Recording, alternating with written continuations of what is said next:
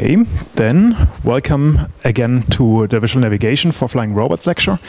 Today is on visual motion estimation, and that's actually the part uh, that makes the quadrocopter or the AR drone stay roughly at um, the same position without drifting away too far because it can see um, um, how it moves and can, com can compensate for it. Um, before, before we start, I have two small announcements. The first thing is that there will be two guest talks. I already announced that before. Um, uh, because of conferences that that um, I attend. Um, uh, so the first one will be uh, in uh, roughly a month from now, uh, which will be done by by Jakob and Christian.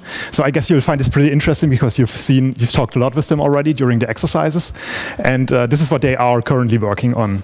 So this will give you a direct chance to see what the current problems are in in our research, and um, also see where potentially um, the mini project um, could could go to, but also where a potential master's thesis could um, could um, continue in, in, in this work.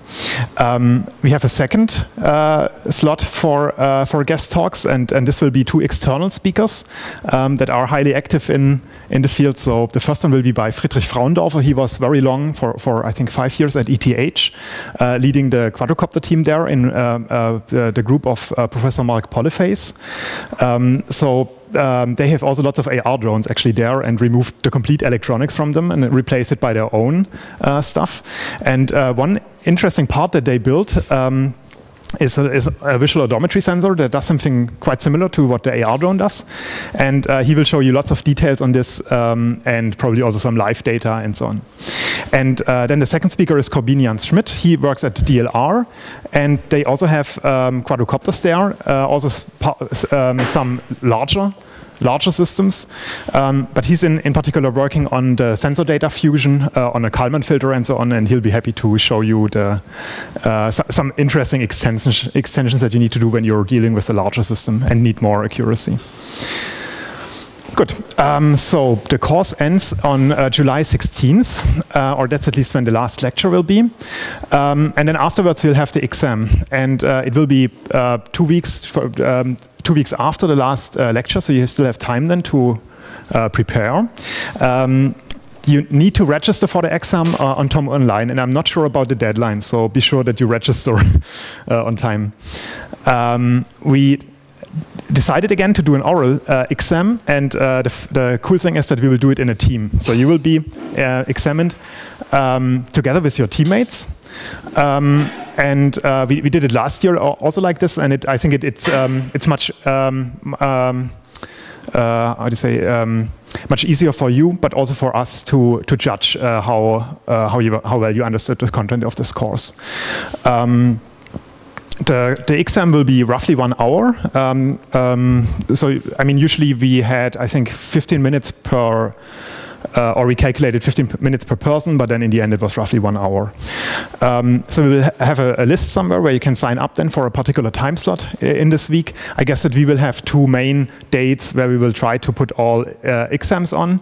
Uh, but if for some reason this date does not work for you, then we can also always find a different date. And also, if for some reason you um, decide or uh, that you that you don't want to be examined together with your other teammates for whatever things happen during the rest of this course, uh, then we can also do it individually. Um, but I think it's, um, it, it's also in, in, in, your interest to, um, or it, it gives you more self-confidence if you are together with the team of persons who you, with whom you worked. Um, and we will also ask about questions about your team project at the end. Um, so in this way, everybody can tell a little bit about what he has been doing, and then I'll ask some more specific questions on this. And then at the end, towards the end of the exam, um, a bit more general things to cover roughly the whole, the whole course. so about the topics. In principle, everything will be uh, relevant for the exam. Um, you should of course be in particular confident about things that you that you actually did in your in your uh, project. So if you, for example, if I ask you what you did and then you say, yeah, we extended the Kalman filter a little bit, then probably my next question would be what uh, uh, how exactly the Kalman filter works and how you extended it and so on. So you should remember uh, uh, the details then of your. So you also have to learn about your team project, but naturally you already know everything about it. Um, good. Yeah. Any questions on this? Or comments? Good. So, so we'll hang up the list and then uh, just sign up there. Uh, if the date, dates do, not work for you, then let me know. Then we can find something else. And if you want to do, do it individually, then, then also let me know. Good. Yes? Uh, about the exam, would it be like more practical oriented or uh, do we maybe have to derive some formulas um, yeah, so no, it will be with, with paper, everything. So I might ask you to write down uh, an equation or to explain uh, how path planning works or uh, things like that. But yeah, it won't be a computer and so on. and you won't have access to the internet. so you have to... Practical in the sense of that we more understand how things are done or exactly understand the formulas? Uh, both, both, both. Um, in, in general, I would always advise you to better, of course, it's more important to understand how things in general work. Um, but for really getting a 1, 1.0, you would also need to uh, memorize some of the equations. Uh, I mean, maybe not the most complicated ones, but the, the basic equations should be no problem to, um, for you to, to write down. Good. Any other questions? Good. Uh, yeah, but I mean, the, a general understanding of everything is, is the basis for, a, for a good grade. Good. Um, so this is a funny video on YouTube. Um, it's called the chicken head demo, and I guess this guy is actually a control uh, theorist um, who who bought a chicken for his uh, father's birthday or for Father's Day, and then he discovered a funny property of the chicken. Um, I'm not sure whether you can see this. So um, he found out that the chicken actually always keeps his head at the same position no matter what he does. and he and then he decided to record that and put it on YouTube. Uh, and I think it's, it's quite funny, um, uh, or it's, it's, it's nice to see how, how well animals and also humans can estimate the motion. And uh, you know, you see, so he moves the body of the chicken, but it, it, it, doesn't seem to do any effort to do that. You know, it happens very natural. And uh, probably it's very important for the chicken to have such a capability. and, uh, and of course, for the quadrocopter and for any other mobile robot, you need in principle the same. You need to stabilize the, the camera image and you need to know uh, how you're moving. um, yeah. And then I even had a second chicken there that has the same. so if you ever want to tell your um, uh, friends what, you, what you're learning here, then you can always open YouTube and then show the chicken head demo. But in principle, I mean, the quadrocopter roughly does the same, right? It has, it estimates its, its motion, it estimates the disturbances, and it compensates for it. And it, this is one of the low-level capabilities that you need to achieve higher-level uh, functionality. Good. Good. So this is the motivation for today. Um, so we, we're looking at how to estimate the, the motion of the camera uh, from camera images. And um, this is the brief outline. I'll go again briefly over the geometry of, of a pinhole, the pinhole model of a camera. Then we'll talk about image filters to remove noise and so on from the image. And then we'll look at 2D image alignment um, uh, in, in depth. And that's the problem of estimating how a 2D image has moved or how the 2D camera has moved. It's in principle the problem that an optical mouse of a computer has to solve when you're yeah, moving it. And um, then on a larger scale, um, uh, we so for a whole image, parts of the image might move in different directions. Then it makes sense to look at individual interest points and um, look at corner detectors and then the KLT tracker, which is one, one of the most famous um, approaches in computer vision and also one of the most cited computer vision papers. And um, yeah, exactly. And then, uh, yeah, I'll show you some videos on this. And then next week we will extend this to 3D. So today we will purely look at 2D motion estimation, and then next week we'll look at 3D. And then also uh, uh, Friedrich and uh, Korbinian will uh, demonstrate how this integrates with IMU and everything, that it can be really used on a quadrocopter. Good. And then at the very end, I'll show you some uh, examples of papers from ICRA and ROSCon, two conferences that we've been recently, um, that go into our direction and are, are really interesting, or you will find them definitely interesting interesting. Um, some of them are also with AR drones. Good. Um, so to recapitulate, recapitulate, uh, you remember again the projective, um, um, yeah, the projection from 3D to 2D. So we, we have a 3D, the 3D world and uh, a focal center somewhere, and then the image plane on, onto which everything is, is projected. So we consider a point P, which is, has three dimensions, and it's projected on the image plane, uh, and then it gets image coordinates x.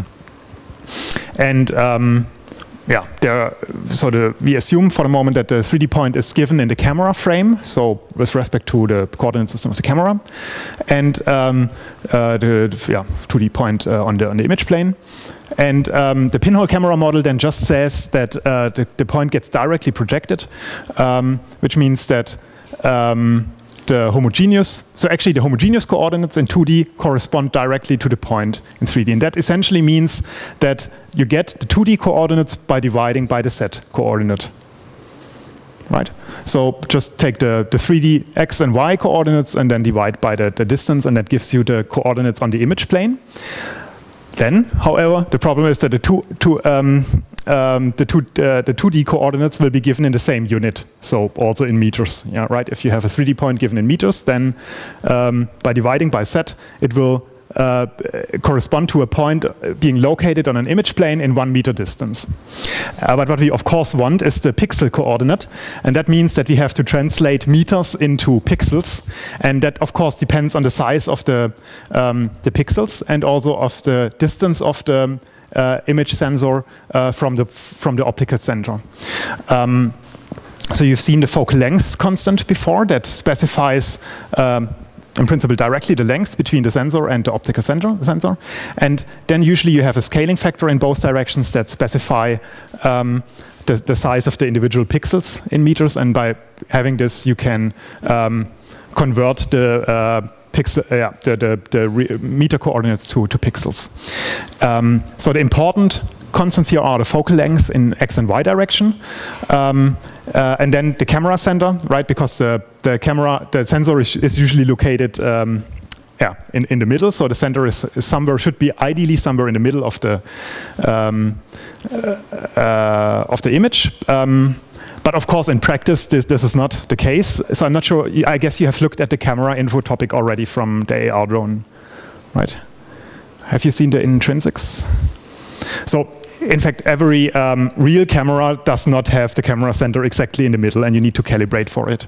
And even if you have a rough estimate from the manufacturer of the focal length, the real focal length will be somewhat different. And this means that when you get a new camera, then you have to calibrate for this. And Jakob and Christian already did this for the AR drones, but in, in general, you need to estimate it. There's also the skew factor, but usually by construction, uh, the camera is um, built in a way that pixels are square, and then you don't need this. Um, good. So yeah, and then the, the pixel coordinates, uh, of course, um, make sense to discretize them, um, which means that uh, they usually come from a domain from zero to the width of the image minus one, and so on. Um, it's other people prefer to um, um, specify pixel coordinates differently, for example, from going from zero to one. Um, just depends on your taste uh, in principle. And there, there is no, um, no, really, no real convention. The more you are into um, um, uh, computer science, the more it will be this, this case. This is what, um, yeah, what, what, most people uh, in computer science use. But from a mathematical perspective, sometimes people prefer to just scale the image from zero to one. Okay, um, and um, now also from a mathematical perspective, Oh, interesting. Cuts it off. Um, so uh, you can consider actually an image to be a function um, in, in, the continuous case. And then the value of this function at a particular pixel location gives you the intensity of this, of this point. And, um, and this generally also extends to, to color, um, um, color images because then you can just say this, this f gives you back um, a three um, valued uh, uh, value uh, with the red, green, and blue parts in it. Good. Um, yeah, as you've seen, uh, it makes sense to define this uh, image function only on a bounded domain um, because the sensor, of course, has only a limited size.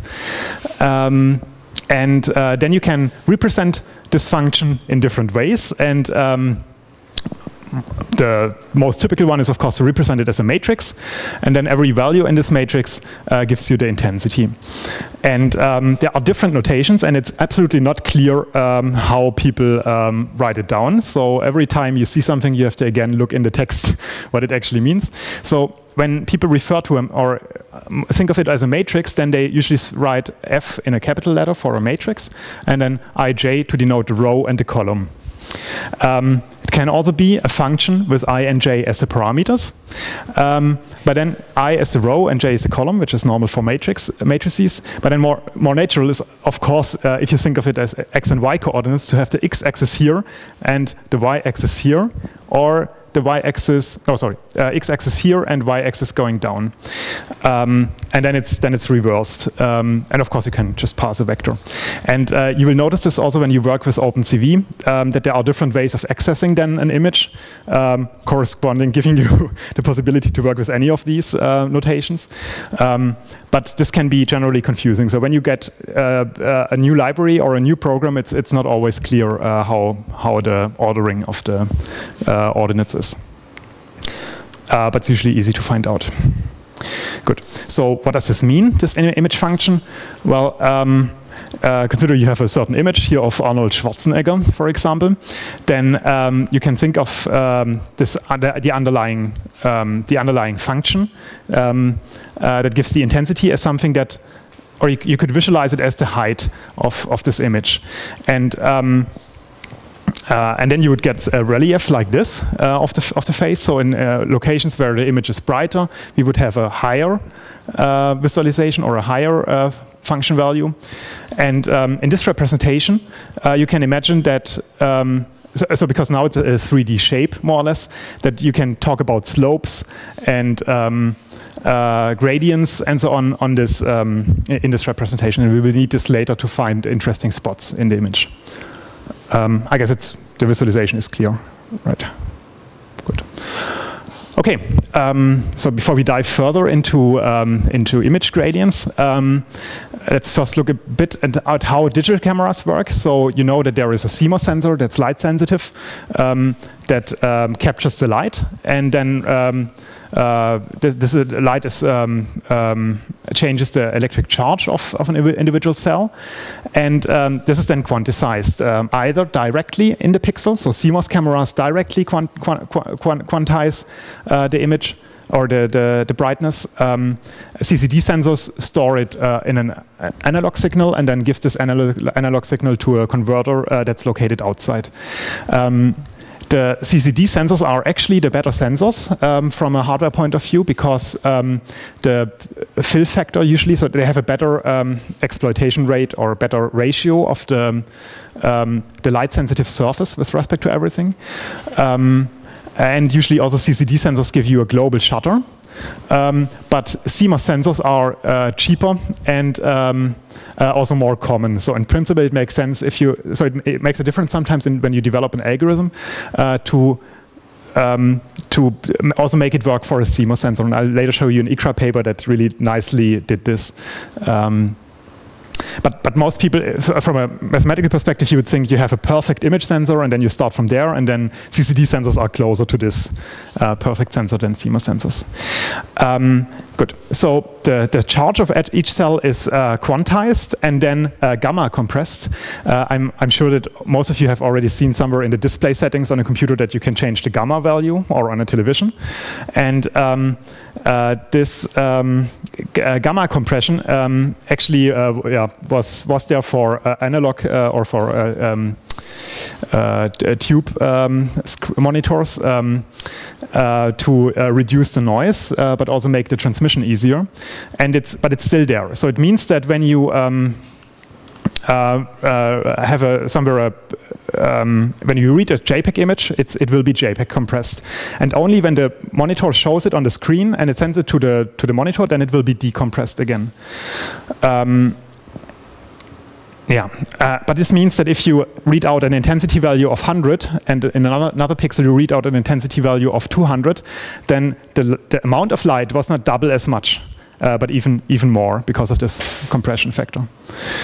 So, so sometimes when you're dealing with uh, illumination models, uh, then you really have to make sure that um, um, yeah, that you decompress the image first, that you really have a linear um, uh, um uh, uh, uh, how do you say, a linear observation function of the, of the real intensity in the world. Good. Another problem is uh, called uh, aliasing, and um, th that is in principle um, the problem that the sensor by itself uh, does not um, fully, so in principle you have this matrix, right, with the um, light sensitive cells, but then in fact only a small part of this of the cell is actually light sensitive because there are some electronics here and wires and so on and wires going here in between. And this means that the real readout uh, surface or area uh, is, is, smaller than the actual cell. And this means that if you have a very um, uh, high frequency function, like for example this sine shape here, then the sensor only reads it out at a very small location, and then it might appear, you know, if you if you uh, uh, display these values, then again, it might appear actually that you have a very different function just because of this uh, sampling. Um, sampling effect, and that gives you sometimes unpleasant effects um, when you when you take pictures of castles or if you, uh, or of uh, strange shirts of people. Um, um but also from a computer vision point of view, it makes things, of course, very difficult if, if because the texture then can change a lot, in, or the appearance can change a lot uh, when you move the camera. Um, but of course, the, the world's uh, yeah, that does not change. Um, Right. I guess, I guess, most of you have seen these effects before. So this is where it comes from. It's because of the sampling function of the, uh, the CMOS sensor. Good. Another uh, problem is the rolling shutter. Um, uh, remember that so CMOS sensors have a rolling shutter, which makes it uh, easier to build.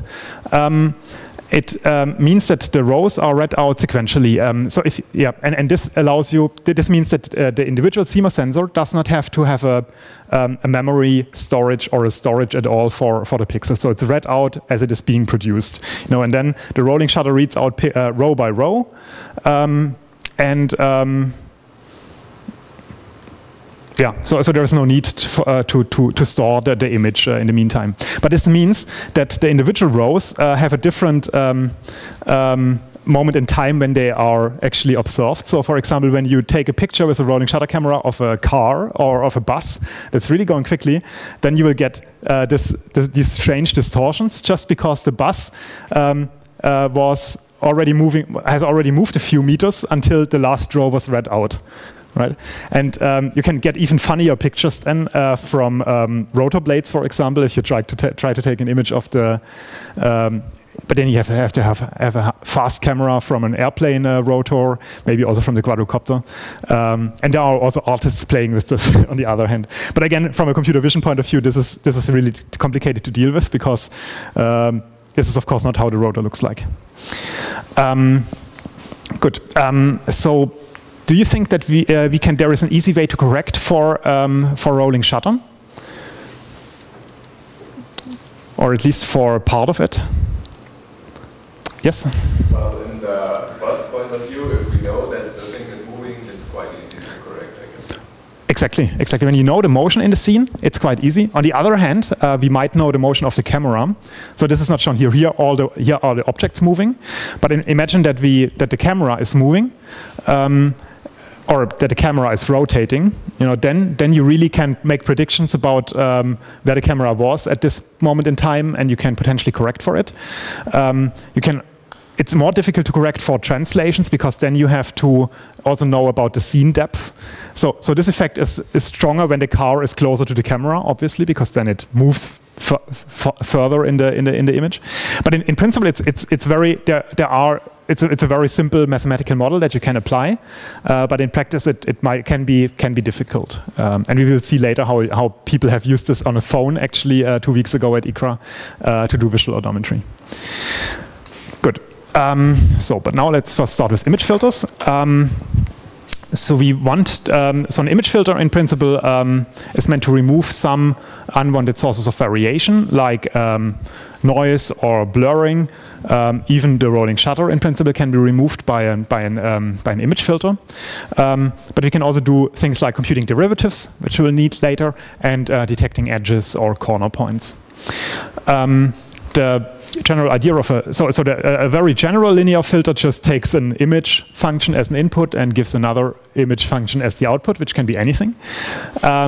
But uh, of course, in, in, practice, we are mostly interested in linear filters, uh, which means that um, we take the, the, again the input um, function, uh, multiply it with a certain filter function that um, uh, uh, yeah, depends on the, the image coordinates in this image and the coordinates in the in the output image, uh, multiplies both, um, and um, yeah, and it's linear because um, uh, yeah, it's consisting of these two components and they are multiplied. So if, if you scale f, uh, then the output will, will be larger. If you add something here, it will be, will be larger as well.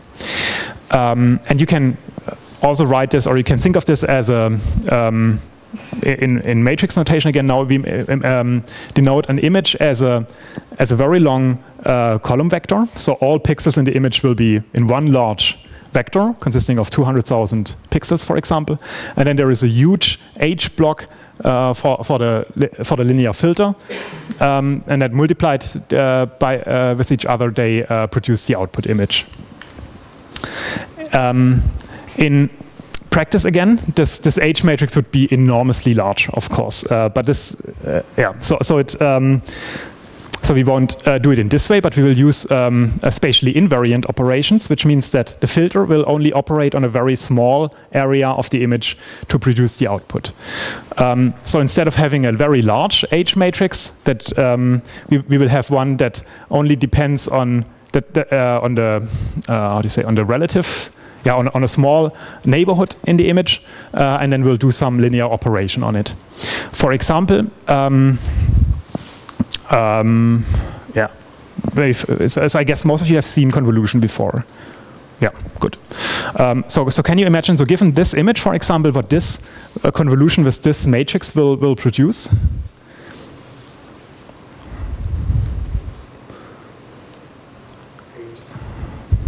Edges, goes in, yeah vertical edges, yeah, exactly. Um, so actually, it does not directly respond to an edge, but it responds to a change. So this is the, it computes the second derivative, and this responds to quick changes in the uh, rate of, of the image. So it, it, enhances in principle edges.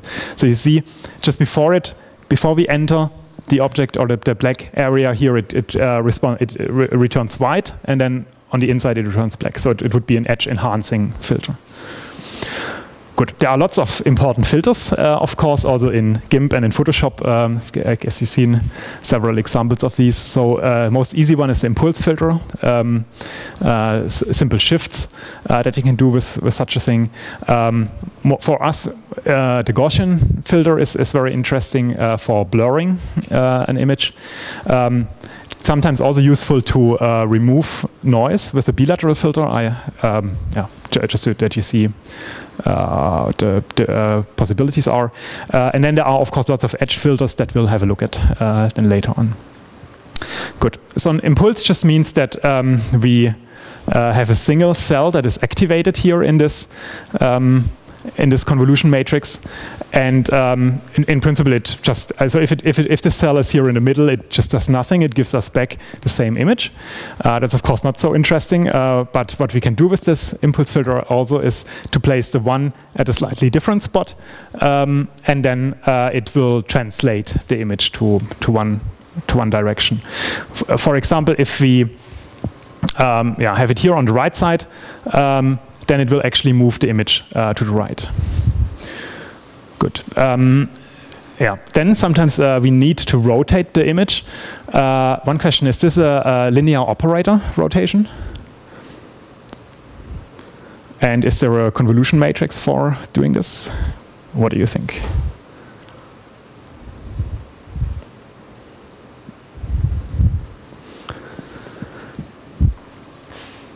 So one interesting observation here is that um, it's definitely not spatially invariant because here in the middle, you know, you would have to rotate. So you might find a matrix that does the rotation for you, but you could not use the same matrix to uh, to another part of the image. Um, so this, this means that image rotation actually is a linear operator, but you would need to have the full matrix to do the rotation, and that would mean that it's not really efficient to do it in this way. Um, uh, um, yeah, but it's it's not spatially invariant, um, and so we can't use convolution for rotating an image. Good. Um, other um, another interesting filter is the rectangular filter. It's um, uh, it just kind of blurs the image. Um, so th this is again, so if you, yeah, if you have a large matrix, rectangular matrix that has ones, then we would get a response like this.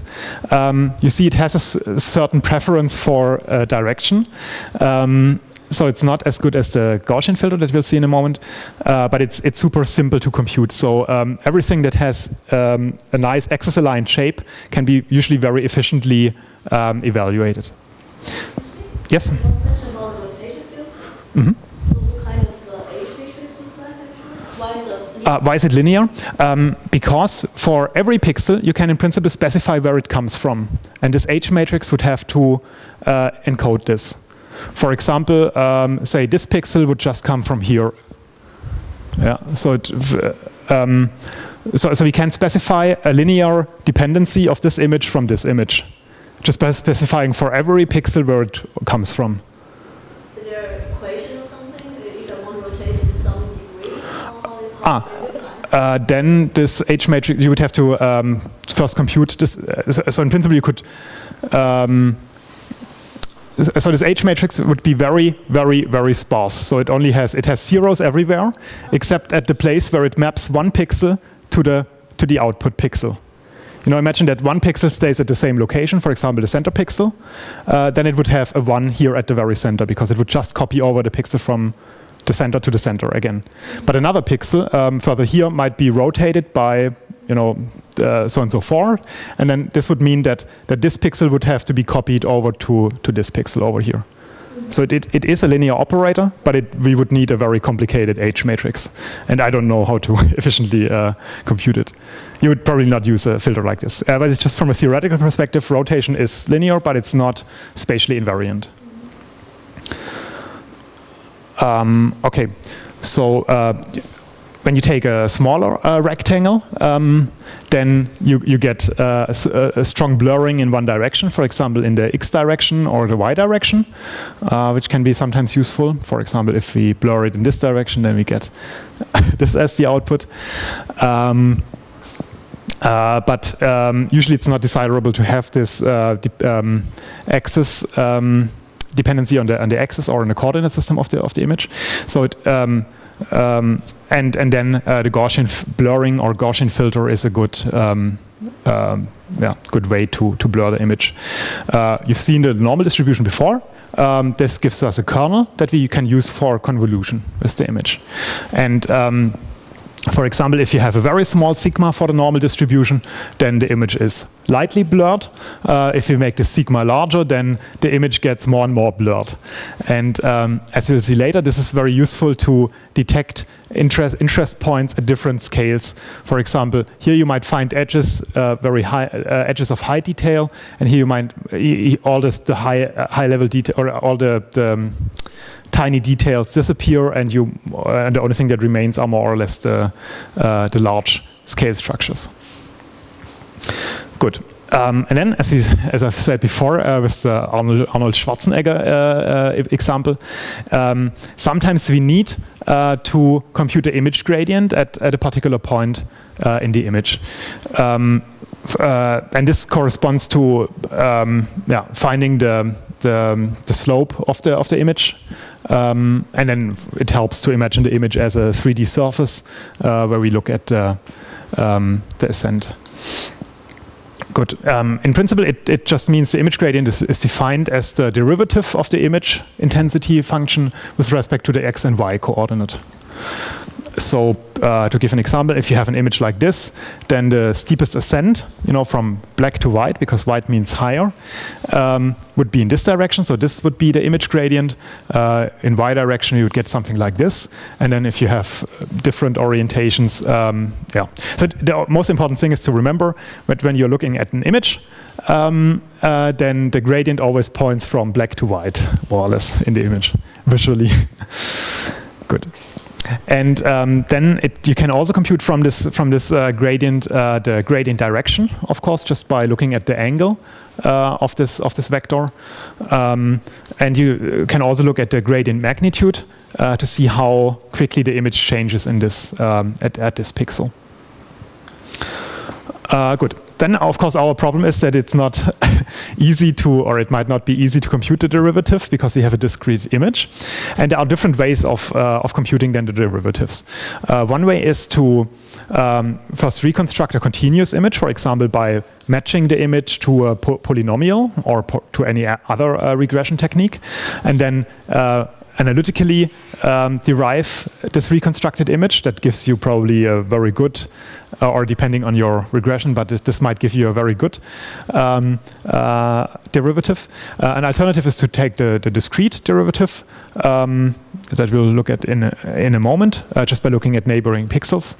Um, and you can also um, convolve the image with a Gaussian.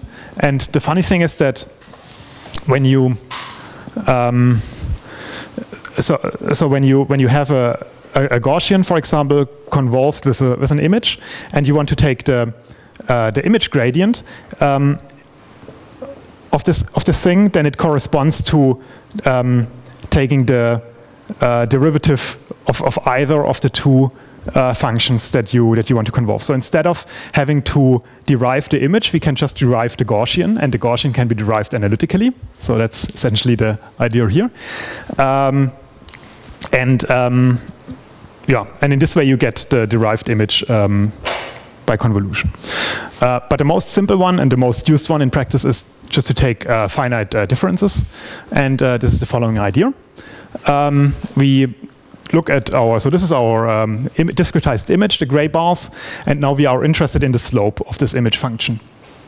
And now one thing that we can do, of course, is just to take um, two, um, so, so we are interested in the slope here, so we look at the value of this pixel and this pixel, one to the left, one to the right, and um, yeah, look at the, the slope, and then this is our best guess uh, for the um, uh, for, for, for, the image gradient.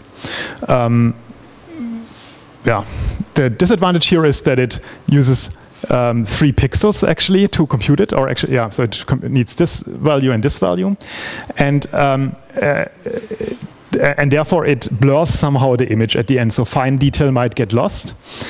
Um, so I visualized here. So in red is the the true function from where this, these uh, values come from, and then the the red line here is the true tangent that we're actually looking at, or that we're actually trying to find, and then the, the gray one is an approximation of it, which might be better or not so good depending on the, the function. Um, little, it gets a little bit better by uh, just looking at um, two, two directly neighboring pixels. Um, but this essentially gives you the derivative then here in the middle, obviously, um, uh, which means that the, the, derived image then will be shifted by half a pixel.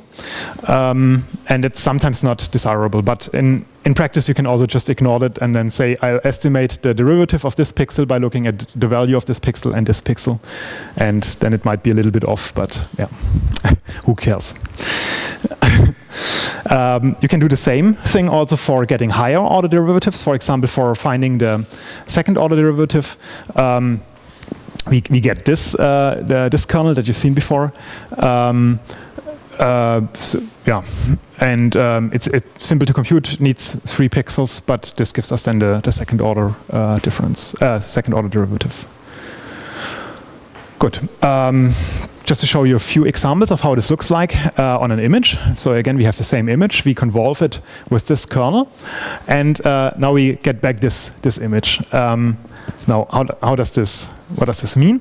Uh, for example, um, in a region where we don't have any brightness change, the gradient will be zero, obviously because there is no change. And this means this is now visualized here by gray, but gray actually means zero in this visualization. Now, when we look at a, a, pixel where we switch from, um, uh, from white to black, for example, um, then then we get a very uh, high gradient. Wait, no, sorry, very low gradient uh, because we go yeah, from a high value to a low gradient. So the slope is negative, which gives us a black uh, pixel here and uh, the other way around, for example, from white to black uh, here. But it only looks at horizontal changes in this way. So this is the x derivative. And then we can do the, apply the same in the in the y direction, and then we would get uh, the edges in the yeah the, the vertical edges. Um, good. Okay. Any questions so far on this image filtering part? Yes. Yeah. Here, actually, in this case, you change from white to black gives you a white right? Uh, wait. You change from white areas to black areas. Yeah. Gives you a white line let's check again. So we switch from here, from, from this pillar here to the right. So this gets, gets from, um, let's just go from white to black. Um, and um, this returns us here an, uh, a, a, dark value, which corresponds to a negative uh, derivative. Uh, black to white, next to it. I think it's because in the convolution we are subtracting from i minus k, which is from the mask minus the image, right? Um,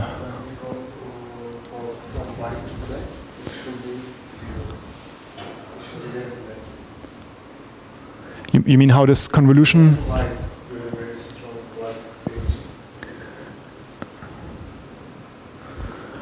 I think it should be correct. Let me think. So we are multiplying the right pixel here with minus 1 and the left pixel with 1.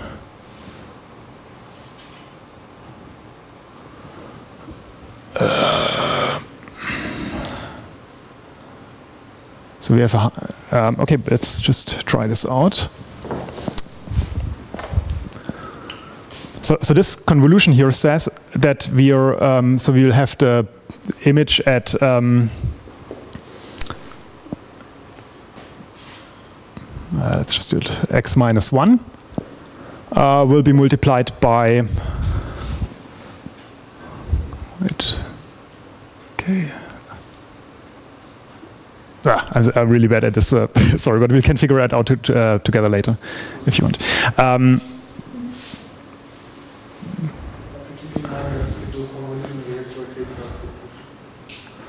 yeah, so the, the, here is a minus in the coordinates. So we are looking at um, a particular position. Yeah, so, so the convolution filter is actually, it's folded onto the image the other way around. So this might be confusing. Um, when you look at the notation. But I mean, just get the general idea uh, independent of the yeah, these things. Good. Okay. Um, so then how can we use things like this for motion estimation? I said before, uh, the problem of motion estimation is that we have a camera that's being moved somewhere and we want to know uh, in which direction uh, it, has, it has been shifted and, and how much. And we need efficient ways to, to solve this, for example, for a computer mouse, but also for a quadrocopter that has this down-looking camera. Um, so the problem is typically um, in, um, in this visual odometry problem that you are given two images, uh, say f0 and f1, and um, between both of them there has happened some camera motion, so and we want camera motion that we note by u for odometry, and uh, we need to recover this, um, this vector. And uh, for the moment, we assume that it's only two-dimensional, so U has two components. And then next week, we will see how this uh, applies to in 3D. Good. Um, so first, to, uh, to approach this problem, we uh, have to define an error metric uh, that tells us how good the two images align. Um, and then we need an efficient strategy for minimizing this error metric.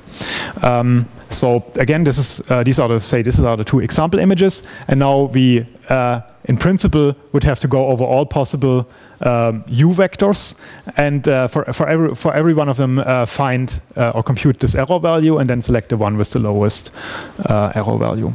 And uh, one of the easiest differences that you can take is the, or and also mo most used one is this called uh, the, the, the, sum of squared differences, sum of squared differences, also ab abbreviated with SSD. You might have seen this before for stereo cameras.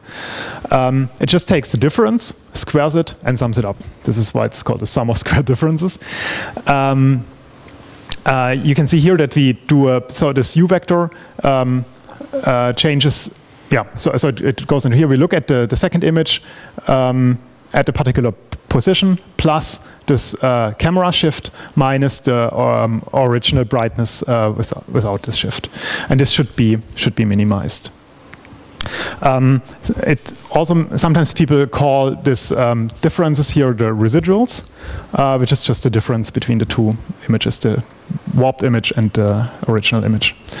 One problem of the um, um, uh, squaring the errors or the residuals is that it's highly sensitive to outliers, um, because um, you could, for example, have a reflection on the table where you move the mouse that suddenly changes the brightness enormously in one pixel.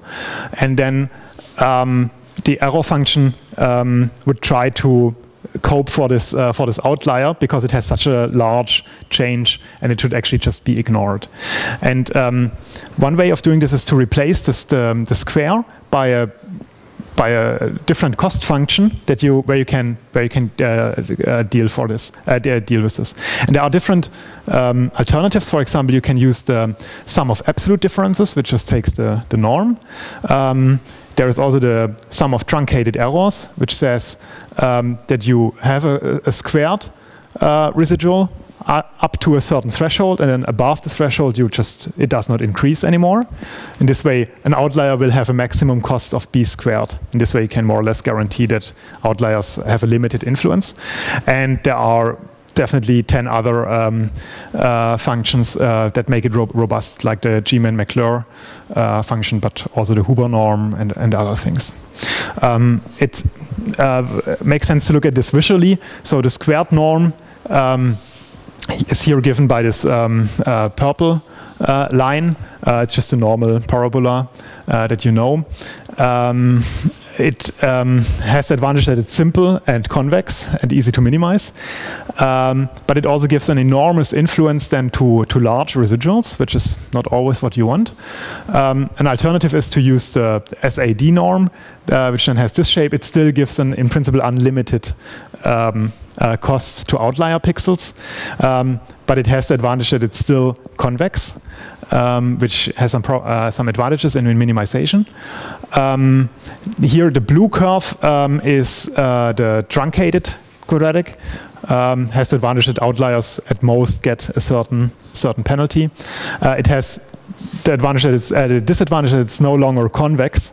Um, um, so when you're when you're minimizing the function and you're standing here, then there is no clear gradient in which direction you should go. Um, uh, and uh, this is it's a little bit better uh, with the Geman-McClure and other functions that um, that still provide you a gradient here. Uh, actually, another problem here is that you have a discontinuity point, um, yeah, which yeah can, can, can again cause trouble. So so better or, or more, uh, yeah better um, robustification functions are um, um, uh, continuous everywhere. Uh, but again, have then make it usually more difficult to evaluate and to minimize. Um, in any case, you should remember uh, a quadratic is really sensitive to outliers, uh, but it's on the other hand also the most simple thing to do. Good. Um, so. Uh, one problem, of course, is that the image uh, only has a certain size. And so when you uh, compute the error function, um, uh, the and, and, you do it in a stupid way, uh, the, the minimizer could think, oh, actually the best thing that I can do is to shift the patch so far outside of the, of the, of the reference image that we don't have any overlap at all. And so the sum of squared errors will be zero, just because there is no overlap, right? so um, this means that the normal SSD has a bias to shift the, the image away. So if you, if you do it in a in a stupid form. So one simple solution to correct for this is to divide by the, the overlapping area. And in this way, uh, you just look at the average cost per pixel independent of the number of pixels that are actually overlapping. Um, yeah. Um, and then this is this is sometimes called the root mean square error, uh, because you're looking at the mean error and not at the uh, sum of the error. Good. Um, sometimes it not does not happen with computer mice because they can control the illumination. Uh, but with the AR drone, for example, it, it happens that the um, camera has an has an auto shutter and uh, probably not a white balance, but an auto shutter that changes the shutter time and the gain depending on the brightness of the room, because you want to have the AR drone flying outside in the sun and also inside where it's very dark, um, which means that the camera automatically adjusts the uh, illumination setting, and um, um, yeah, and this means that the direct comparison with um, the sum of square differences uh, might give you a very large error value just because the brightness of the image changed. And um, then you can ad additionally add two constants for the whole image. You know, when you're matching f0 to f1, um, uh, where you have a linear um, scaling on the brightness um, yeah, to correct for this. Remember again, uh, you need to deco gamma decompress the images before you do that, before you can do something like this. Um, otherwise, um, uh, yeah, it's otherwise the image function anyway is not linear, and then multiplying it by something uh, does not does not work. Um, good. Yeah, that's it. Uh, there are other uh, ways of um, computing the um, uh, the the, uh, the, quality of a match uh, that are intrinsically a little bit more robust than the SSD. Um, for example, instead of looking at the differences, you can look at the product um, of, of the two functions. And then the idea is that um, um the, the two images, of course, should strongly correlate. And um, uh, yeah, uh, actually, I'm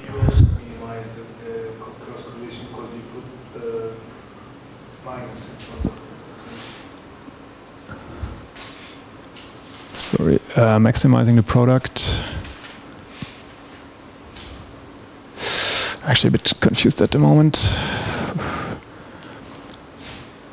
Yeah, at least if you have two bright spots, then they should be, of course, at the same location. So if you take the product of them, uh, then if you look for an alignment that maximizes this product, um, it's yeah, it's an it's an alternative way of um, of um, yeah of computing the quality of the match. Um, it depends, of course, on the absolute brightness of the image. Um, so it can make sense to normalize the images beforehand. Uh, for example, by taking the, uh, removing the mean from both images and also by dividing by the variance of both images. And in this way, you get uh, um, uh, the normalized cross correlation, which, ha which, has a value between minus one and one. Um, yeah. but it's it's an alternative to the SSD. And in some situations, in stereo, people use normalized cross correlation a lot. Um, um, yeah, but for odometry, I guess um, the the SSD is usually preferred because it's faster. Good. Um, so in, in, any way, this was now the first part. We uh, defined an error metric, or we looked at several different error metrics um, to um, determine how well two images align. And now we need a way to find the motion vector uh, that has the lowest error. Um, again, uh, the most uh, direct approach would be a large for loop that goes over all uh, possible uh, combinations. And you can still do this in 2D. And I think actually you can build things like this in hardware also for, for a mouse, you know, that, that really uh, finds the globally the minimum between between these two. Uh, but for um, uh, the AR drone in six dimensions or in four dimensions, um, this for loop would take really long to, to be evaluated. yeah. So so one option is to do a full search. It works for mice sensor very well, mouse sensors very well. Um, uh, but more efficient are gradient descent-like methods um, um, that we'll have a look at uh, now, um, and also to do hierarchical motion estimation when you're looking at larger displacements. The idea of the hierarchical motion estimation is that instead of directly finding the exact alignment between two images on a very high resolution image, you downscale the image and then first look um, at the alignment of the downscaled version of the image. And then even a larger displacement actually is only one pixel or two pixels maybe in the large image or even only half a pixel. Um, so you build, you build up such an image pyramid where each level um, yeah, has a certain scaling factor, usually a factor of two, but it can also be less. Sometimes people um, have several uh, layers between two octaves. So they actually call it like in music, uh, on, a, on, a, music instrument, one octave uh, between two pyramid level levels. Um, but depending on the application, um, you, you can have different scaling factors in between. And um, then you estimate first the motion on the coarsest level, um, and then you use that as an initialization for the next level where you've already shifted back the image to this location and then more and more refine your motion estimate. Good. Um, as I said, one of the most famous um, uh, uh, or methods for estimating the motion is um, uh, uh comes from Lucas and Kanade from from the early 80s, uh, and it um, uses uh, Gauss-Newton minimization to find the exact or to efficiently find um, uh, the motion vector that minimizes the, um, the error function.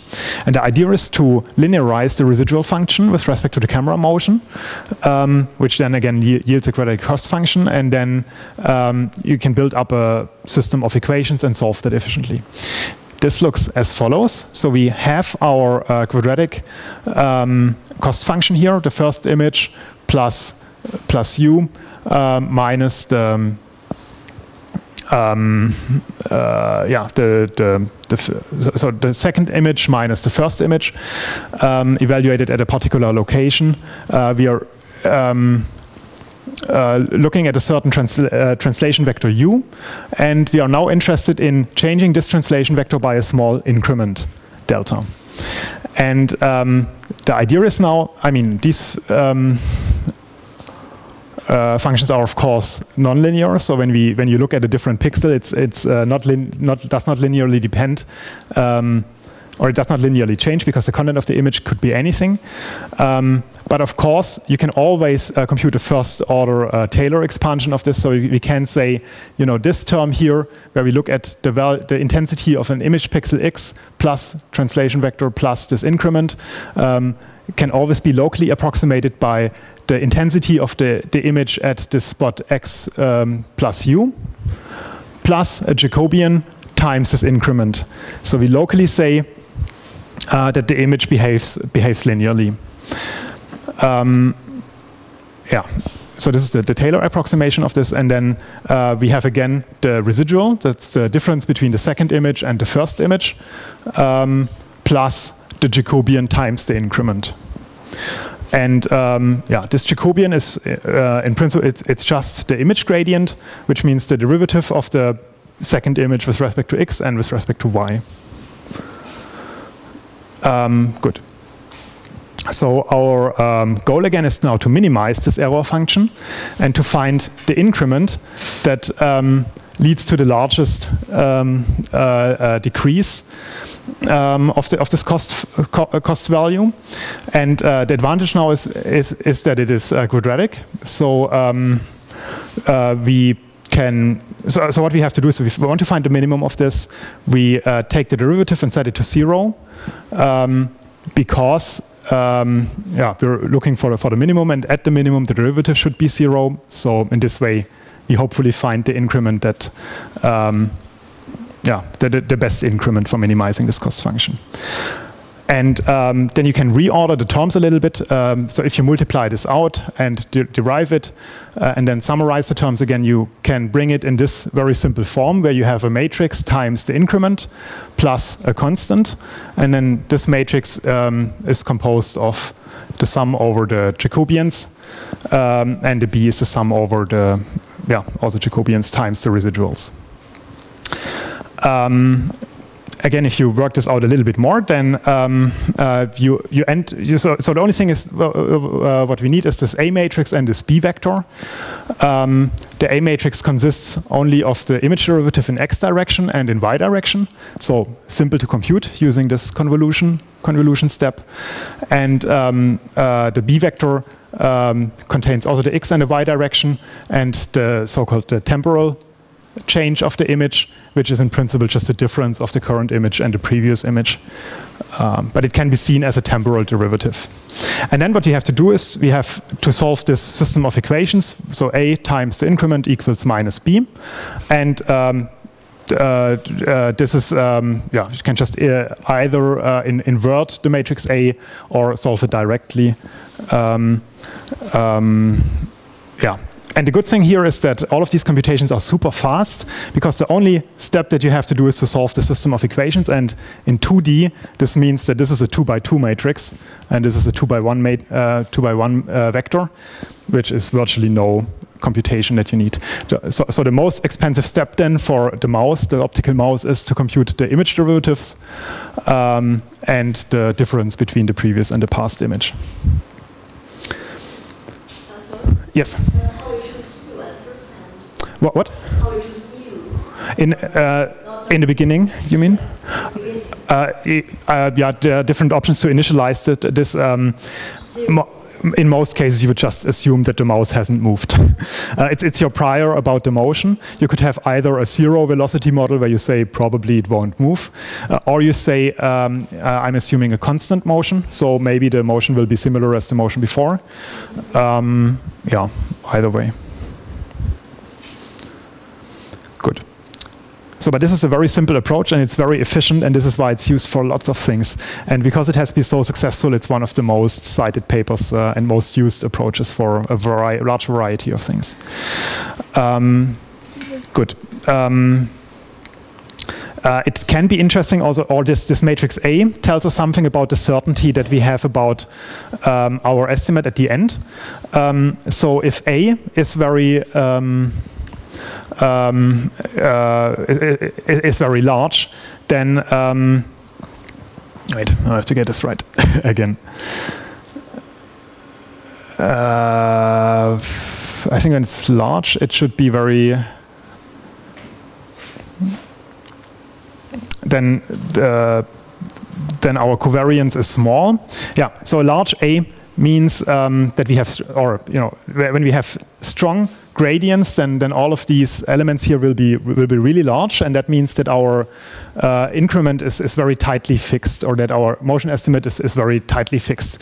On the other hand, if you are looking at an image that has almost no gradients, then this will be relatively small. And then we don't really know uh, about the, the motion of the camera. And so from this matrix A, you can more or less read out the certainty of your estimate um, of the motion. So the mouse could in principle know that, it, um, yeah, that it's looking at a bad surface. But yeah, okay. Good. Um, so this is one example of uh, a mouse sensor. So actually, um, you know that I'm, not sure whether you can still remember the times when the mouse had mechanical uh, wheels in it uh, to determine the motion. Um, this had lots of problems, of course, um, with dirt and everything. So um, I, I, can really say that this was a great relief when the optical mouse appeared. Um, this is a recent sensor. it's contains both the the, um, the CMOS uh, imaging sensor, which has usually between you know 16 by 16 or 30 by 30 pixels. Uh, that it operates at a really high frame rate, and it does all the processing then directly on the chip. So the mouse by itself does not contain much electronics. It's just this chip, and this chip directly spits out. Um, uh, a USB signal, or um, this is in this case a PS2 signal. But so you don't need much if you build a mouse, and it's all tightly integrated. Um, good. Um, so uh, sometimes, as I said, so this was now the problem of aligning a whole the whole image. So if you have, if you're really looking at how, how does the camera move, then you can align the whole image and everything is fine. But sometimes you also are more interested in estimating the motion of small image patches in the image, and um, then it turns out that some of the, the, patches in the image are easier to track than others, um, obviously. um, so what do you think? How what patches, first of all, what patches are easy to track and which parts on, and which patches are not so easy to track? And how can we recognize, or what would be better, better patches? Yes. Yes, exactly, exactly. And um, the the opposite is uh, patches that are completely uniformly colored are impossible to track because there is nothing that you can compare. Um, so this this uh, figure just gives you a few of the examples. Um, for example, if you are looking at a corner point, then it's easy to track because it's uh, constrained in all directions. If you're looking at a point that's on an edge, it's only constrained in one direction actually, not so much in this direction. And if you're looking at a patch somewhere in the middle of um, of a surface that has uniform color, then it's not constrained in any direction. Um, by looking again at this, um, yeah, at an example image in three different locations, um, uh, we, we can look at the ener energy, the, res the, resulting costs, you know, the, the, the um, yeah, function E, that depends on the camera motion.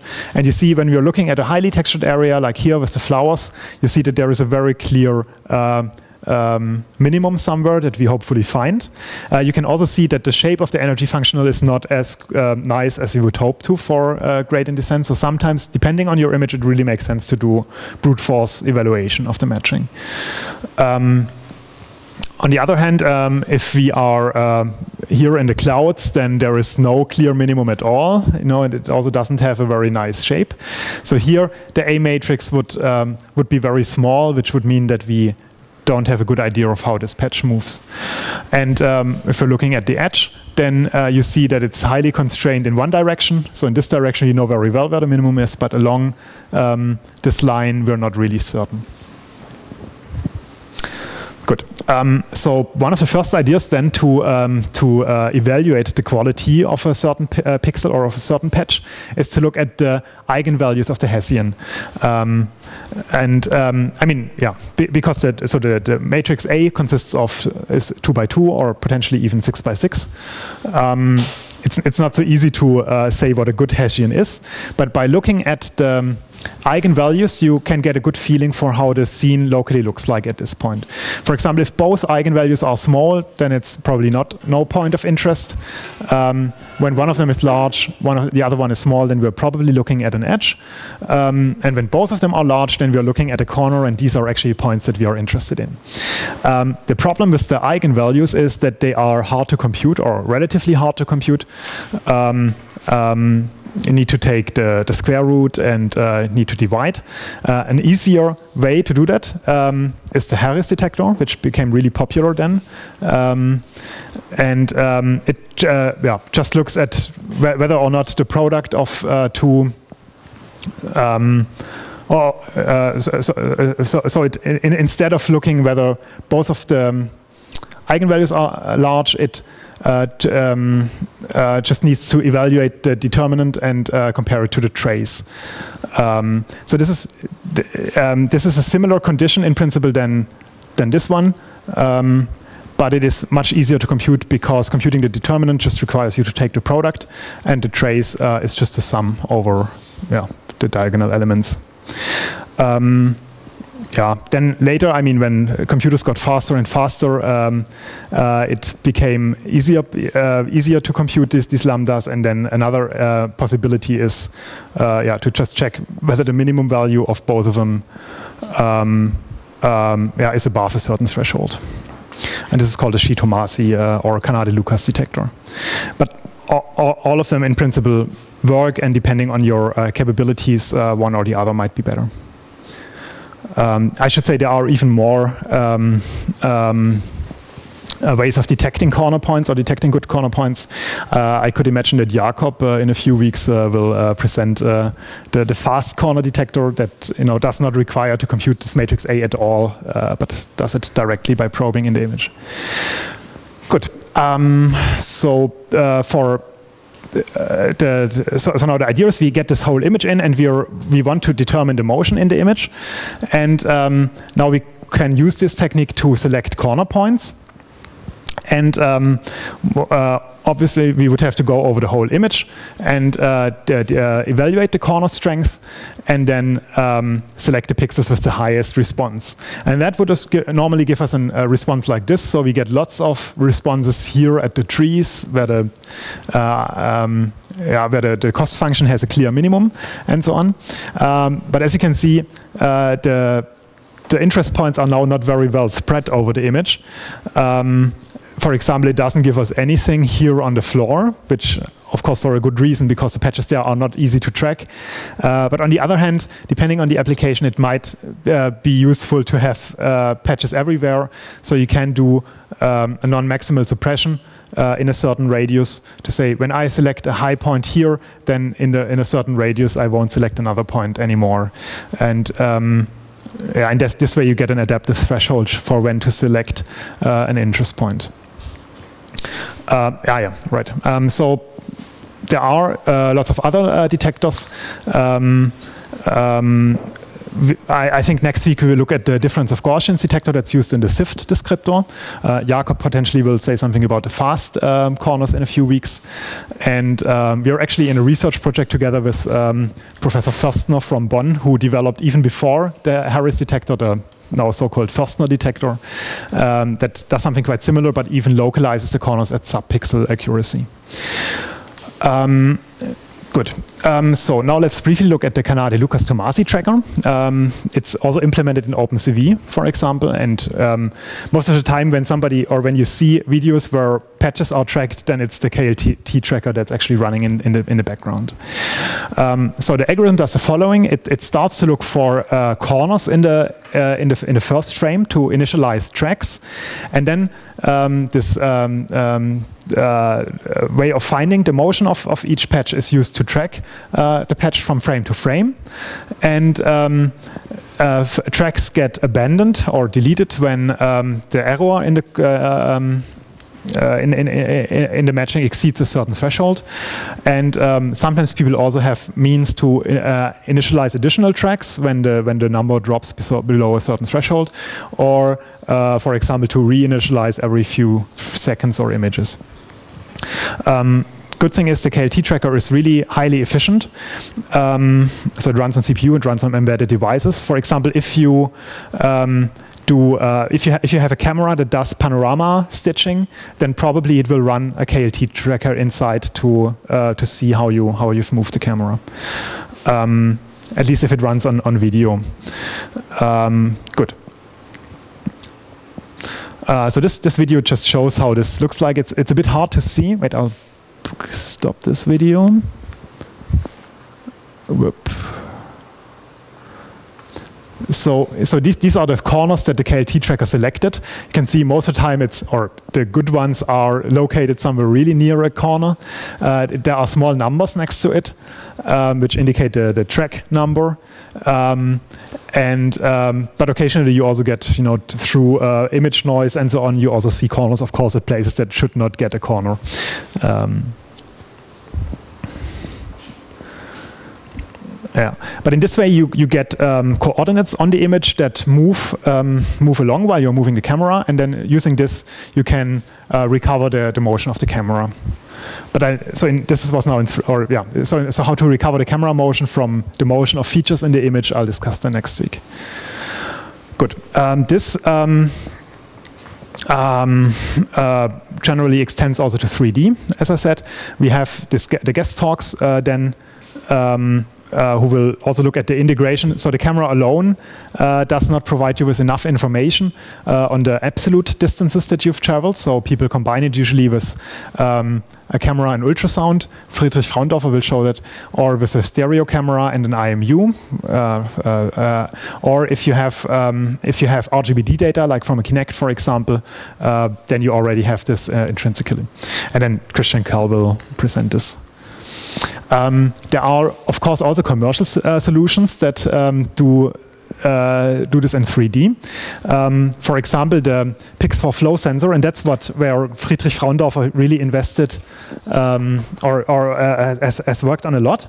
Um, is um, provides that. Uh, I can just pass it around um, that you can have a look at it. Maybe don't don't touch the lens uh, so you can open the, the thing, but um, don't touch it. So this is what we want to um, add to our uh, Pelican quadrocopter to stabilize the position. Um, the AR drone has, has the same thing in principally uh, integrated. Um, but here we really know well how it works because, um, uh, yeah, and then Friedrich will show you. For the AR drone, it's, it's a bit more unclear, but pro probably it will do uh, the same thing.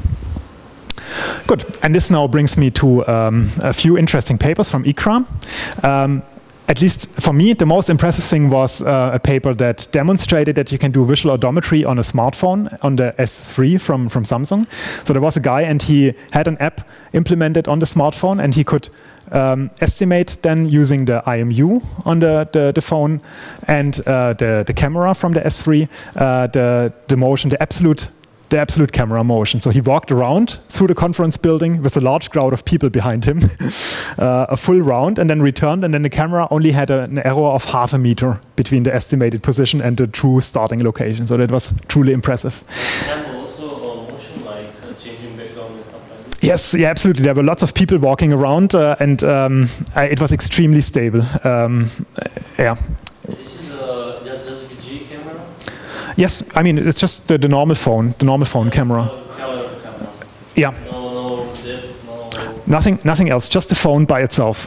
And it ran in real time uh, on the phone and was stable enough that he uh, actually dared to show it during a conference. Um, it, I, it, no, it initializes. Um, so they have they had even two papers at ICRA on this, um, and it initializes automatically. Um, I'll show you more, more details. It's not SLAM because it's not building up a map. It's just estimating the motion. Um, but should work Yeah, yeah, you, you can definitely um, uh, uh, um, um, extend this into a full SLAM system and so on. And I'm saying I think they work on them. So I emailed a little bit with them. Uh, they also want to apply this now as a next step to a quadrocopter, actually. And I really hope that they will put this online uh, at some point that we can play around with this as well. But it, but it, uh, um, so so on one hand side, there, this is a really cool piece of software, but also it demonstrates the proof of concept that you can do it with a phone. And phones are great because they are so lightweight and cheap and you know carry so many sensors. Um, yeah, and also have individual problems then. And as I said in the beginning, so phone cameras are CMOS cameras and they have rolling shutters. So when you walk around, then there will be image distortions. And, um, and so one of their papers was on correcting for the uh, rolling shutter effects uh, when doing that.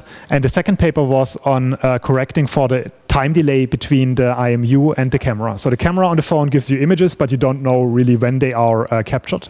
You know, when we when we build like this sensor, for example, um, has an has a processor on it that triggers the camera and really tells the camera when to take the image, and then you know then you are very sure uh, that everything is synchronized. But on the phone, you know, sometimes it's better synchronized, sometimes less. Uh, you don't have really guarantees because it's not built for this.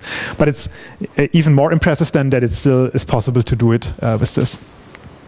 Um, and um, I think this um, became apparent, like, uh, uh, or is, it's actually apparent that, that um, phones are really great sensors for lots of things. Um, like the S3, it has a quad-core processor. It has new phones will have uh, graphical processing units for even faster processing. It has several cameras. You could even use both of them. So he's only using the forward camera at the moment. Uh, it has an accelerometer and gyroscope. Uh, it has already an IMU algorithm implemented in it, so you don't have to implement everything by yourself. You can just read out the estimated orientation of the phone. Um, it has GPS, wireless, and so on. And I mean, he's now just using one camera, accelerometers, and gyroscopes, or the IMU estimate. Um, yeah. Good. Um, so I'll show you a few details because the cool thing is that you already know about the Kalman filter and he used the Kalman filter for doing this. Um, so the Kalman state contains the IMU pose and the last M camera poses. Um, and this means the, uh, yeah, so the IMU state is the orientation and um, um, the bias, uh, I think, and uh, the camera pose just encodes um, yeah, are the six degrees of freedom, or um, I think they, they started as a translation vector and a quaternion uh, for each of the cameras. And now, of course, for the Kalman filter, we need to define a motion model and an observation model. And uh, the motion model, uh, for the motion model, they use the IMU. So they um, uh, have, have a model, a linear model for um, the angular velocity and the linear acceleration. So there is a true velocity and it is linked to the measurement uh, by uh, a certain um, gyroscope bias and a certain noise. And um, for the accelerometer, you can come up with a similar equation. Um, the accelera acceleration that you measure, of course, um, contains the gravity, so you can subtract the gravity first, uh, and then rotate that into the coordinate system of the phone, and then add again a bias and, and a noise term, and that gives you gives you your measurement uh, equation. Um, now for the rolling shutter, uh, the thing is that uh, the, the, the, image is read out during a certain time. So they determined for the S3 that the readout time was exactly 30 milliseconds uh, for the whole image. And then by dividing these 30 milliseconds by 480 or whatever um, lines, you get um, the readout time for a single row. And then you can predict exactly the moment in time when a certain row was read out by the sensor. And um, they are using a KLT tracker uh, in the middle because it's running so fast. And uh, that uh, provides uh, the 2D observations or 2D trajectories in the image uh, of 3D points in the world. Um, how they do it exactly uh, will be will become more apparent in the next week, I guess. Um, uh, but it, it, uh, in principle, you have again an, a measurement equation from the Kalman filter that says, you know, I see a certain point P in the world, um, at a certain location in the image. So you have an observation function that uh, projects this point to 2D. And um, now you can compensate for the rolling shutter because you have the moment in time when this feature probably was taken. So you can uh, modify um, the location of this uh, feature or the, the um, yeah of the, of the, feature in the image uh, by considering uh, additionally the time or the row of the image. And um, so there is, there's a few technical uh, data uh, things here. So they get from the phone uh, the IMU updates at 90 hertz, um, or actually downsampled because the real rates were not even synchronized. You know, they're getting the data at different frequencies. Um, the image camera images were taken at 15 hertz, um, and um, yeah, and then in, in the paper they looked at two different trajectories. Um, where they had less than 1% drift, and they even get the absolute scale from the IMU because they have the acceleration. Um, and um, this is an image from um, from their paper when where they used uh, so they enable this correction for the rolling shutter and so with and without this correction and uh, you can clearly see that uh, um, uh, by using the correction they get more much more accurate results than without doing this. Um, the cool thing then was that we, after ICRA, we've been at ROSCon, uh, which is a conference specifically for ROS. Uh, it has been for, for the second year now um, uh, the, the, uh, this year.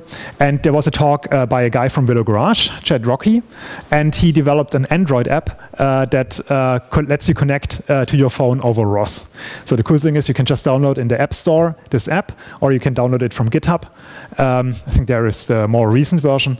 And then um, you have to type in the, the IP address of your ROS core server, so on, the, your, on your laptop, and then you get lots of topics that provide you with the, the sensor data from the phone.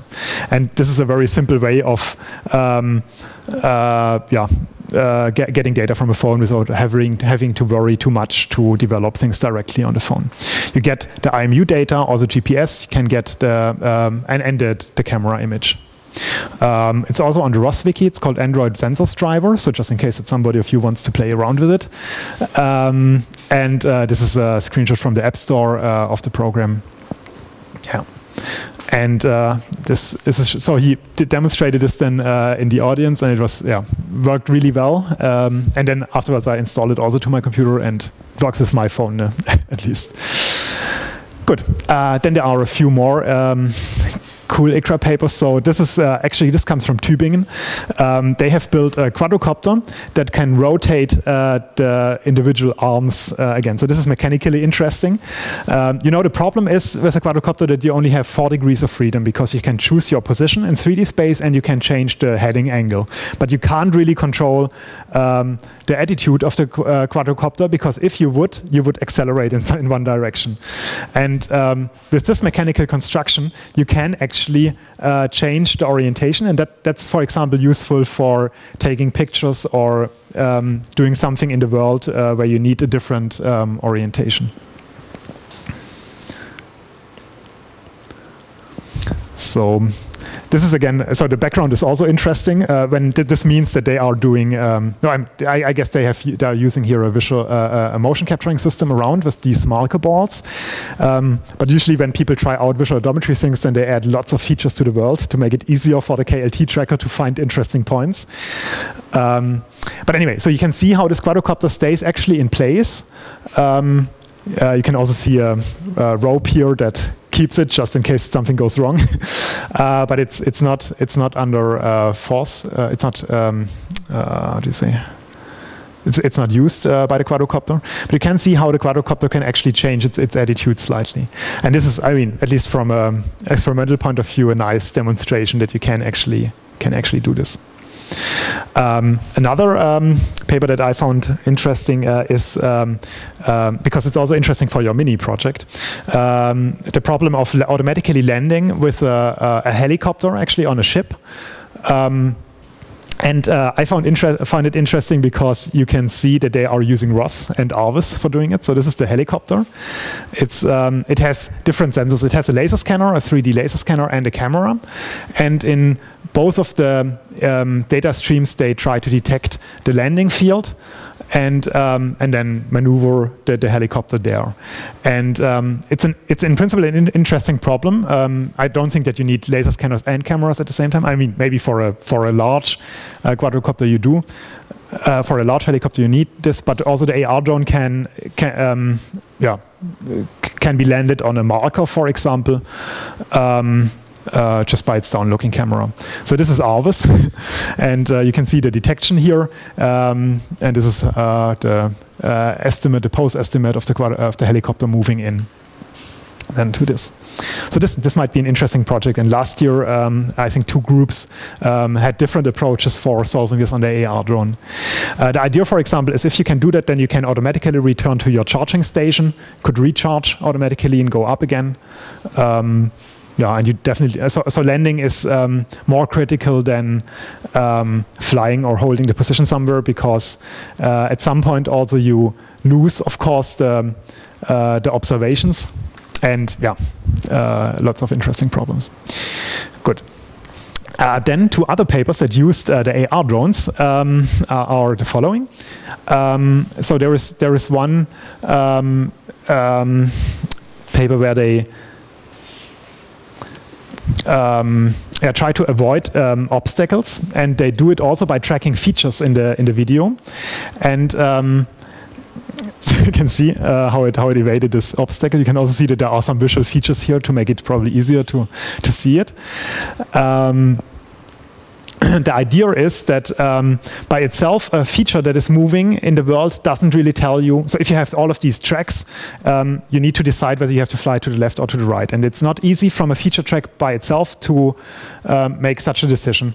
Um, be, uh, especially because the features that are um, moving in the center of your field of view don't change any, uh, don't change at all, uh, but it, it might still be an obstacle, right? If you're if you're moving towards something, it just gets larger, but it doesn't change in place. Um, and their idea for doing this is to look at to have an additional degree of freedom for the size of the feature, and then computing in each image frame not only how the feature has moved, but also whether or not the size of the image patch has enlarged or not. And when you have too many features, uh, or if you, if you see features that enlarge over a certain period of time, then it's probably an obstacle, and then you need to decide uh, to, uh, to um, whether or not you should fly in a certain direction. Um, so this this would be an interesting. Uh, yeah, yes, please. Say something about like features that are really yeah, yeah, this is specifically the problem they look at. So that even if the feature, so they are not so much looking at the position or the movement of the uh, of the of the of the feature, but just at the relative size of how does the feature actually change. And when it gets too large too quickly, uh, then it. Um, I guess uh, it's just uh, summing up the different votes from different features, and when more of the collision features are on the left side and probably go to, go to the right. Uh, I think, I'm not entirely sure. Actually, I will put online, or actually I already did, but I need to figure out how to do the password protection. Um, so I'll um, put online the, um, the proceedings, including these papers. So if, if you're interested, you, you can just browse through them and, and look at them. Um, and I'll put the link uh, on um, uh, yeah, I, I, put the link on um, the, the, website, and I guess the, the password uh, will be just visnav. Um, so I, I, can't write it uh, online um, because we're not supposed to make it to make it public. Yeah, yeah, yeah, exactly. But uh, then somebody has to look uh, at the lecture. Uh, okay, so remember this. If you forget it, then just email me or look at the video. Good. Um, there was a second paper on obstacle avoidance, um, which actually used uh, imitation learning. So last week I've shown you that there are some control techniques um, where you try to learn something from a human expert and then try to learn a policy that makes you avoid avoid obstacles. So in this case, they had an AR drone going through a forest, more or less, and then a human pilot that gave some control commands in the beginning. And then they tried to derive um, the relationship between some of the optical features that they see and the control commands of the human. So the, the different features that they, they had really like five or six different types of features like texture or color distributions or number of edges uh, or something. And um, um, uh, um, yeah, and then the, in the beginning, the pilot has to steer the, quadrocopter, and then it tries to to learn this mapping from features to control commands, and then it can um, uh, yeah, can hopefully do the same. And the cool thing also with imitation learning is that in the beginning you can have a very tight uh, feedback from the human or even the human pilot is completely flying by himself. And then after a while you can just give corrections if you think that it's uh, flying into an obstacle, you can still uh, shift, uh, move it to the left or to the right. Um, and um, and then the system only has a one-dimensional output, namely to fly to the left or to the right. Um, for example, you know, on a street, you have certain features that so they're looking at optical flow and um, depth and whatever. Um, and uh, then these features are translated into um, yeah, in, into this left or right motion. And this is what they try to predict. So they have a large regression function um, that maps this to each other. And they, I think in the paper they say that they uh, avoided successfully more than 600 trees or something. but this is, I mean, this is fun, I guess, uh, to try something, uh, try out something like this. And it's I mean, of course, you could do uh, the, the large approach would be to reconstruct the world in 3D and to you know really plan everything and so on. But um, in this way, it's it might be more natural. It's more uh, directly uh, you you see some features and you try to map them to to motion commands. It might go wrong. Of course, you could still hit something that you've never seen before, and then you're screwed. Yeah, so they flew apparently yeah, more than three kilometers uh, with the AR drone, probably lots of carrying with the laptop next to it, because the quadrocopter doesn't do the processing. It's similar to, our, to us, that you have to have an external ground station. Um, good. So, um, so all, yeah, right. So all conference papers, and it were like 800 papers, are um, have been presented at ICRADEN uh, three weeks ago, and um, they are usually distributed um, on a USB stick or on a CD. And um, yeah, previously it were really books. So when you go to the library, I guess you can see some old proceedings from older conferences where you have really stacks of all papers, all research papers in it. Today it's fortunately a bit easier. Um, so I'll yeah put it uh, put it online and uh, yeah remember the password. And um, I also showed you this, these papers because uh, I think that they might be interesting for your mini project. There are also some other ideas, and I'm sure that you also have uh, even more ideas. Um, but I wanted to stimulate a little bit already that you think about what you could do. Um, for example, um, uh, one interesting idea would be to follow a person with the quadrocopter.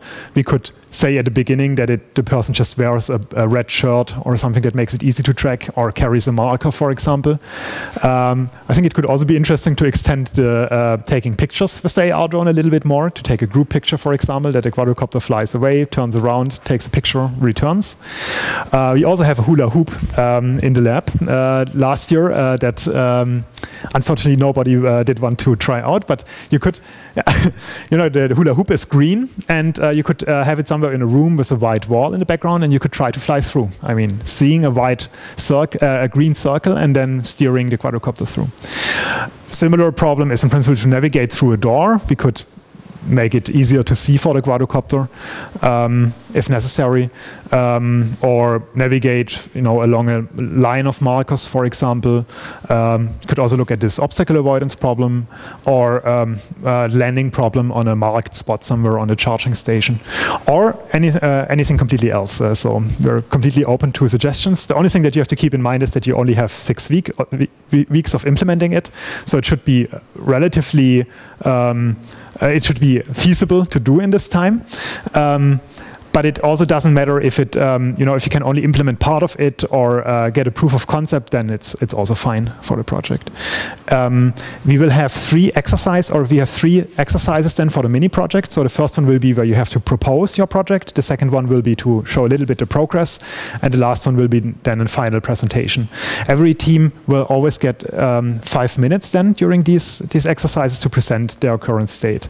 And um, so don't worry too much. Uh, in principle, just you can be creative on something that you want to do, and then we will give you feedback and also help you to um, turn the idea into something that can also be implemented in in, in this time. Um, and um, I should also say that so, a few of these projects from last year have then turned into um, um, uh, larger projects, uh, for example, for master's thesis or for um, the interdisciplinary uh, research project and so on. So there's always the possibility to extend it. You don't have to finish everything than here. Um, but if you find an interesting problem and you, you see that you're interested in it, interested in it, we can always extend it. Good. So that's it for today. Uh, as I said, we've mostly looked at 2D motion estimation. Next week we'll go to 3D. And um, yeah, ICRA papers. Good. Thanks a lot.